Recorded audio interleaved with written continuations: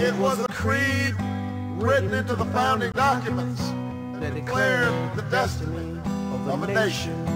Yes, we can.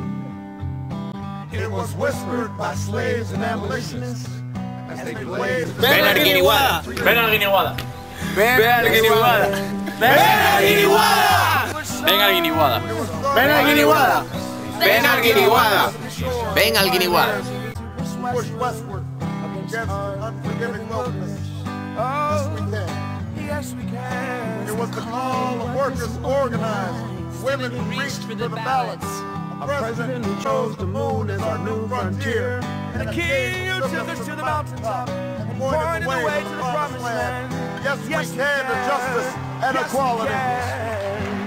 Yes, we can. Yes, we can. Yes, we can. Yes, we can.